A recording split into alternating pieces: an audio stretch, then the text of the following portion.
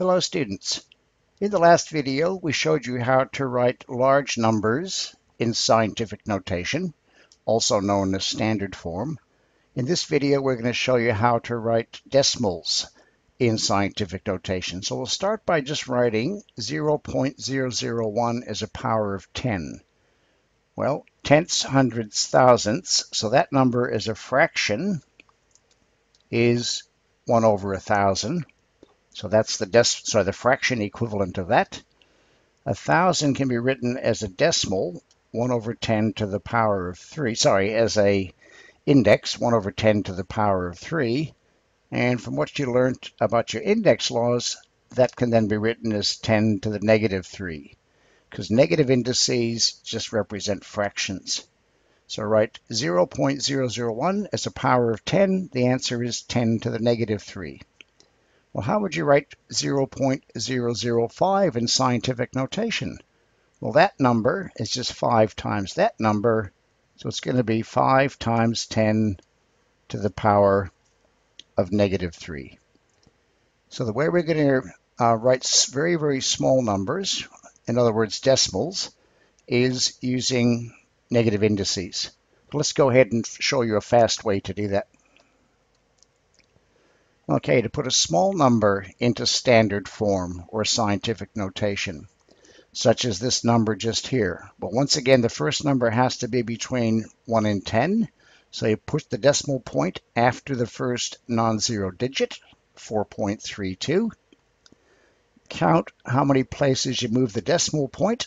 In this case, it's going to be 11 places. So therefore, 4.32 times 10 to the negative 11 because we move the decimal point back to the right, it has to be a negative index. Now, one thing to be a little bit careful of, students like to count zeros. So what a lot of students will do when they're first learning this is they'll go 3, 6, 9, 10 zeros, and they're going to write it as 4.32 times 10 to the negative 10. So it's not the number of zeros between the decimal point and the first non-zero digit it's how far you move the decimal place. Or if you want to count zeros, just add one on to your answer. So 10 zeros, one more makes it 10 to the negative 11. Okay, I'll do the first, um, I'll do this one here and let you do the other three. So I want to write 0.00034 in scientific notation. Now the secret is I've got to put the decimal point between the 3 and the 4. So I'm moving the decimal point there. So 3.4 times, and I moved it 1, 2, 3, 4 places.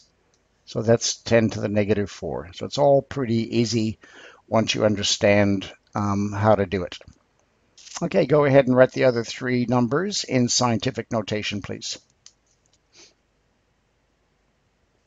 Okay, let's see how we went. Now this one here, I'm putting the decimal point after the 8. Because it's just a whole number, we don't put the decimal point in, so it's 8 by 10 to the negative 3. So you could put 8 point or 8.0, but there's no need for any of that. This one here, I'm moving the decimal point two places. So it's 1.3 by 10 to the negative 2. And the last one, I'm moving the decimal point between the 6 and the, and the 0 following it. So 6.08 times 10 to the power of 1, 2, 3, 4, 5, 6. 10 to the power of negative 6. And if you like to use the counting zero method, you go 1, 2, 3, 4, 5 zeros in front of the 6 and add one more to get 10 to the negative 6. Okay, if we're going back the other way, here are three numbers written in scientific notation. Let's change those back into normal numbers. So I'll do the top one and then let you have a go with the other two, please. So the secret here is you've got to leave a little bit of space to put the zeros. So when I write the six down, I'm going to put it a bit to the right. Okay, now the decimal point at the moment is behind the six. I've got to move it back three places to the left. So one, two, three, decimal point, and then put a zero in front. So the decimal point was after the 6. I moved it to the left three places because the power is 10 to the negative 3. Okay, have a go with the remaining two questions, please. Okay, let's see how we went. Now, once again, don't start writing the 1.05 right after the equal sign. Give yourself a bit of space. So 105, the decimal point was there. I've got to move it back one place, two places, and there's the answer. Shortcut, by the way, some students like to think, well, negative 3, that's I'm going to move it three places. I want two zeros. So the number of zeros is one smaller than that. Here it's negative 2, so I just have one zero between the decimal point and the first non-zero digit. And for this one, I'm going to have eight zeros between the decimal point. So the short way of doing this one, if you wanted to do the uh, zero method, um, I guess you could call it, is to put in eight zeros. One, two, three, four, five, six, seven, eight, and then the three, six, eight. Maybe that's a faster way to do it by just counting zeros. Quick check, three, six, oops, three, six, nine. I've moved my decimal point nine places altogether.